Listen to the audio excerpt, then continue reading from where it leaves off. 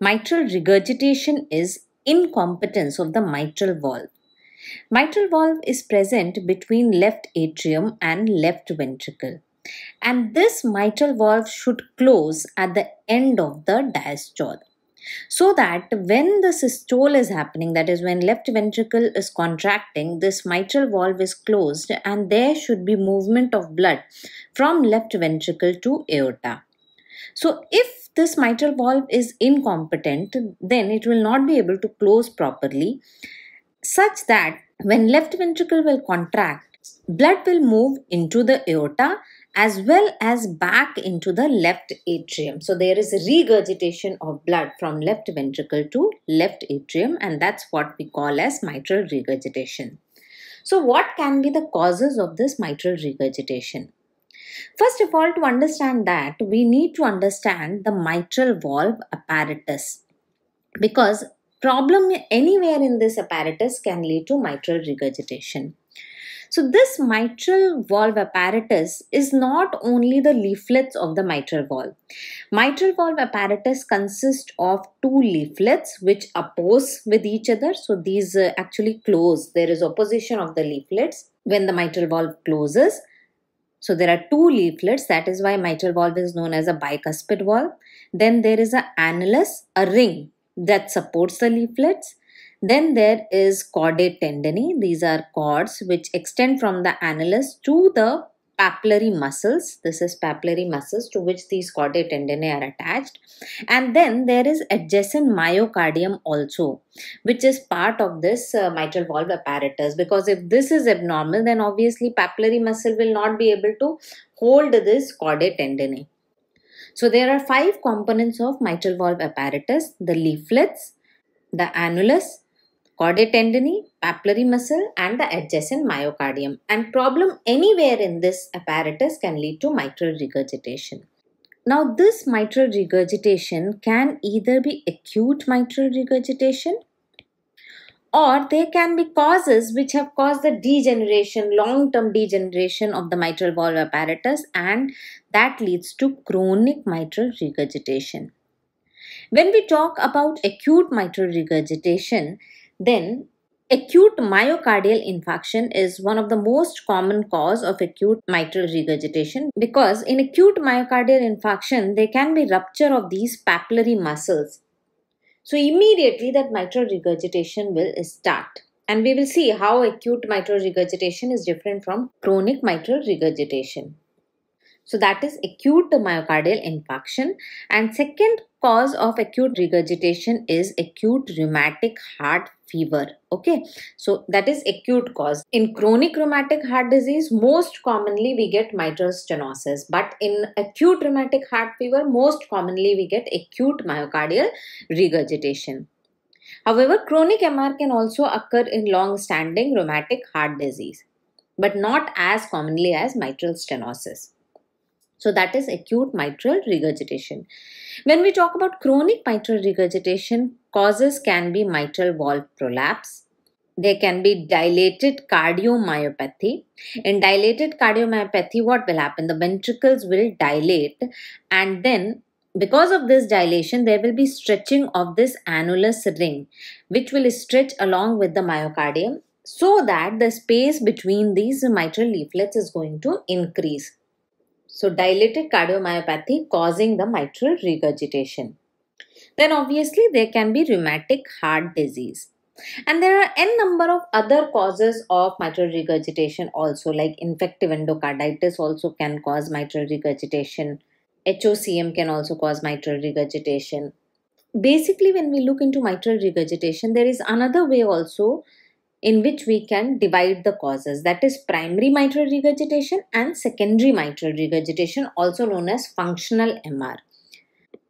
In primary mitral regurgitation, it is the direct involvement of the leaflets and the chordae tendineae of the mitral valve apparatus. So when there is degeneration of uh, these parts, then it leads to mitral regurgitation which in turn affects the heart. Okay. On the other hand, secondary mitral regurgitation, these components, leaflets and chordae tendineae are normal, they are not degenerated. However, due to the involvement of the papillary muscles because of some heart disease or the enlargement of the annulus as we saw in dilated cardiomyopathy that there will be mitral regurgitation. So this secondary MR is caused by a heart disease which in turn has led to mitral regurgitation. Primary mitral regurgitation, direct effect of leaflets and chordae tendineae, they might have degenerated which leads to the further heart problem. Secondary mitral regurgitation, already there is some heart disease like dilated cardiomyopathy or HOCM or even myocardial infarction which affects the functioning of the mitral valve. So that is why it is also known as functional mitral regurgitation. Now let us come to pathophysiology of mitral regurgitation. So main problem in uh, mitral regurgitation is as I told you before that during systole blood should flow into the aorta from the left ventricle However, in mitral regurgitation, it flows into the aorta as well as back into the left atrium. So there is a regurgitant flow into the left atrium. So what will be the problems? Now, the problems will depend on whether it is acute myocardial regurgitation or chronic myocardial regurgitation. Let us look at them one by one.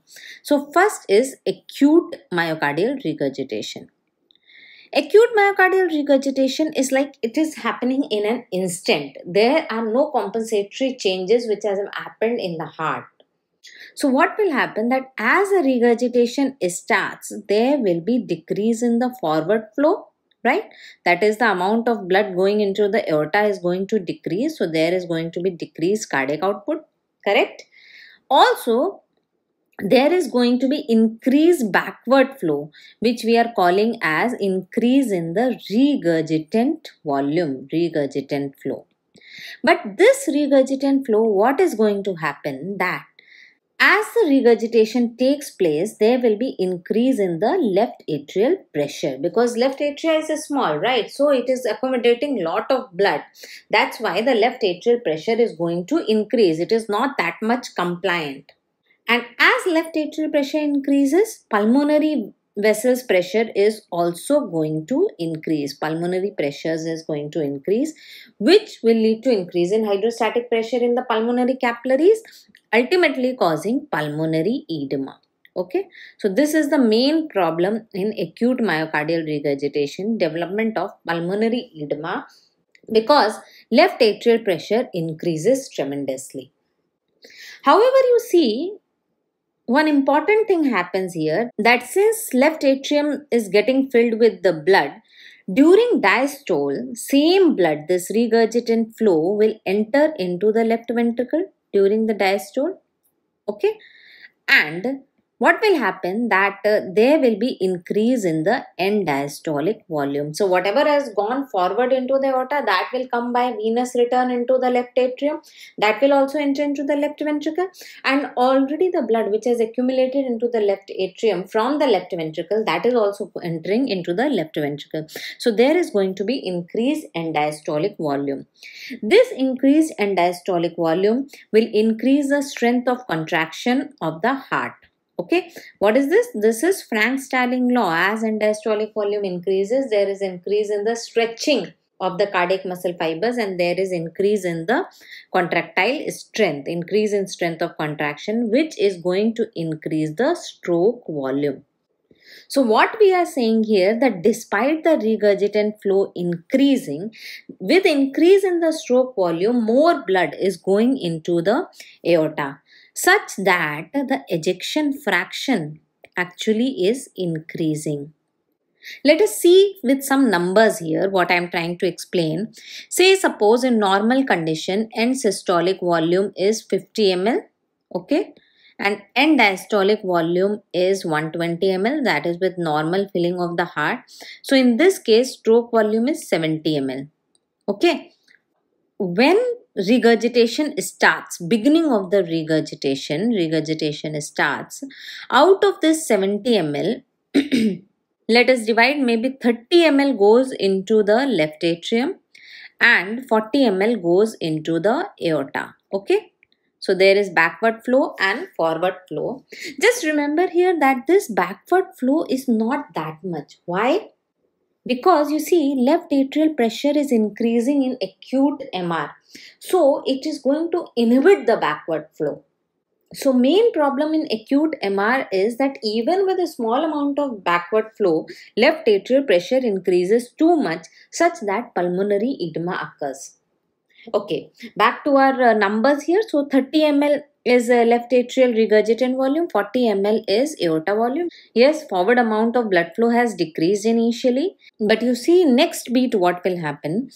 The 70 ml blood which has been ejected in previous beats that will come back as venous return 70 ml plus 30 ml which has gone back that will also return. So 100 ml will be the addition of blood into the ventricles. So now the end diastolic volume is going to become 50 ml plus 100 ml. So end diastolic volume is going to become 150 ml, right? So that's what I was telling. Increase in end diastolic volume will increase the strength of contraction. And now stroke volume is going to increase. It will not be 70 ml. It will be 100 ml. Okay. 100 ml.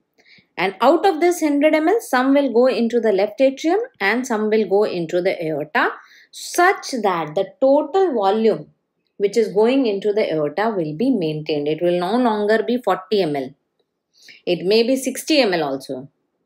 So what I am trying to say here is forward flow is maintained because of increase in the end diastolic volume. But the main problem in acute MR is increase in left atrial pressure which ultimately leads to pulmonary edema. And in fact, this development of pulmonary edema in acute MR is a medical emergency and needs to be treated immediately. So that was the acute MR pathophysiology. Coming to chronic MR. In chronic MR, due to chronic regurgitation of the blood, there will be compensatory changes which would happen in the body. And what are these compensatory changes? You see, this chronic regurgitation is happening during the systole. Okay, that is the blood is going into the left atrium. So, this is going to cause left atrial enlargement right? Left atria will increase in size. This in turn is going to increase the left atrial compliance. That is, it is going to accommodate more amount of blood without much increase in left atrial pressure. Left atrial pressure is not going to increase. However, it can accommodate more amount of blood. So regurgitant volume which is there, it is going to increase. In acute MR we saw that because left atrial pressure is increasing, it is going to inhibit the regurgitant volume because pressure gradient is important for flow, right? So here, since there is increase in LA compliance, LA pressure is not going to increase that much so that more amount of blood can enter into the left atrium. So that means forward flow is going to decrease okay? More amount of blood enters into left atrium. So this is going to decrease the forward flow right? This was not the case in acute mr so there will be decrease in the cardiac output. However since LA pressure is not increasing, LA pressure is not increasing that much. That's why pulmonary edema is not going to develop because pulmonary pressures are also not going to increase. Pulmonary edema is not going to develop. So the patient is going to feel better as far as those signs and symptoms are concerned. However, because of decrease in forward flow, decrease in cardiac output, he will feel exertional dyspnea and fatigue. Also, decrease in forward flow, decrease in cardiac output means decrease in systolic blood pressure. So, compensatory mechanisms will in, start to improve the systolic blood pressure by the baroreflex and there will be tachycardia. Okay, tachycardia will also be there. Now, increase in LA enlargement can lead to further problems. That is, the chances of development of atrial fibrillation are going to increase because as we had discussed in mitral stenosis lecture that whenever there is enlargement of the atria there are chances of developing re-entry circuits in left atria. So there will be chances of development of atrial fibrillation. And once atrial fibrillation develops the person will have palpitations. Okay? Palpitations. Now that was about the left atrium Now, the same volume which has gone into the left atrium during the systole will enter into the left ventricle during diastole. So that means even the left ventricle will have the volume overload. Okay. So left ventricle volume overload will be there. So what we are telling here in mitral regurgitation there is volume overload both in left atrium as well as left ventricle. So left ventricle volume overload again there will be compensatory changes and there will be development of left ventricular dilation and left ventricular eccentric hypertrophy eccentric hypertrophy okay? So this ultimately will lead to left heart failure left heart failure. Also you see here left ventricular dilation is occurring. And as i have told you before that whenever left ventricular dilation occurs there will be enlargement of the annulus ring of the mitral valve apparatus and if that enlarges there will be increase in mitral regurgitation so you see this is going to further increase the left ventricular volume overload. So there is a positive feedback which develops in case of mitral regurgitation once left ventricle dilates. And why I am telling this is that till a certain amount of time this chronic MR is compensated that with certain size of LA and with certain size of left ventricle and because of hypertrophy developing forward flow will be maintained till a certain time. However, because this process is a positive feedback, ultimately it will land up in left heart failure such that the forward flow decreases. So there is decompensation of this chronic mitral regurgitation. So that was about the pathophysiology of acute mitral regurgitation and chronic mitral regurgitation. Now with this pathophysiology in mind, let's discuss what will be the signs and symptoms in this patient. So in acute MR, what will be the problem? First is uh, what about the pulse? Pulse will be low volume pulse because of decrease in the forward flow. Systolic blood pressure, it will be less. Okay. Because forward flow is less, so we can say the pulse pressure is going to decrease. So that is pulse and blood pressure. Then during inspection and palpation, what will be the findings? See, there is no ventricular hypertrophy. Okay, so we won't get any shifting of the apex. Ventricular hypertrophy occurs only in chronic mitral regurgitation. So we will not see any shifting of the apex. But there will be palpable systolic thrill at the apex. Why? Palpable systolic thrill. See, there is regurgitation of flow through the mitral valve during the systole into the left atrium. So this is palpable as systolic thrill. And when we auscultate, we get other findings which include a soft S1. Why soft S1? Because mitral valves are not closing properly, so there is soft S1. There is a holosystolic murmur, pansystolic murmur. So you see, if this is S1, okay, and this is S2, S1, S2, so S1 is the closure of the AV valves, S2 is the closure of the semilunar valves, aortic and pulmonary valves. Here what we are seeing is there is regurgitation of blood flow from the ventricles to the atria during the systole. That is the period between S1 and S2. So here we will get a murmur that is pansystolic murmur. However, in acute MR, this will have a decrescendo pattern. What is this decrescendo pattern? That is, in the beginning, the intensity will be more and it is going to decrease during the systole. Why is it so? This is decrescendo. Why that is happening? Because as I told you that in acute MR, there is increase in left atrial pressure. So this left atrial pressure, as it increases during the systole, it is inhibiting the backward flow, right? So that means the flow when it is decreasing the murmur is also going to decrease in intensity as the period of the systole progresses so that is why in acute mr we get a pansystolic murmur with a decrescendo quality right so those are the findings in acute mr and the patient will have signs and symptoms of acute pulmonary edema so on auscultation we will also get crackles on the lungs okay so that is one thing, signs of pulmonary edema. Now let's see what will be the findings in chronic MR. In chronic MR, the person will have fatigue, exertional dyspnea because of low forward cardiac output, fatigue, exertional dyspnea. Okay.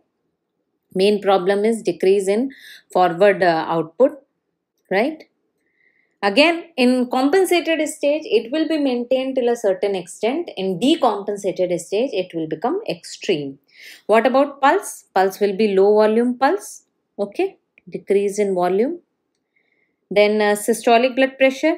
Again, in decompensated stage, it will decrease. There will be decrease in pulse pressure. During inspection and palpation, we will feel the apex is shifted laterally. Shifted laterally. Why? Because of left ventricular enlargement. Then we can feel the systolic thrill at apex because of the backward flow. Okay, systolic thrill. What about auscultation? Auscultation will have same, there will be soft S1. Okay, then again there will be pansystolic murmur, pansystolic murmur which we saw in acute MR also. However, here it will not be of decrescendo pattern. Why? Because in this left atrial pressure is not increasing that much. So it is not going to inhibit the flow. So the configuration of the murmur will be same throughout the systole, right? So it is a pansystolic murmur which radiates to axilla uh, same in acute MR also it will radiate to the axilla. Then in chronic severe mitral regurgitation we can have split S2 as well. Split S2. Why? Why S2 will split? That is because you see the forward flow is less. Forward flow into aorta is less and backward flow is increasing. So this aortic uh, component of S2 is going to close earlier aortic valve is going to close earlier compared to the pulmonary valve.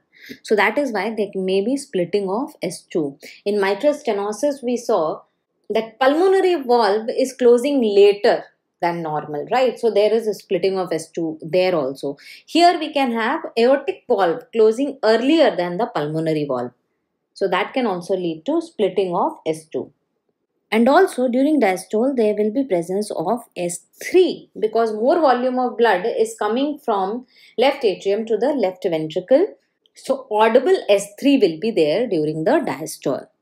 So these are the auscultatory findings of chronic MR.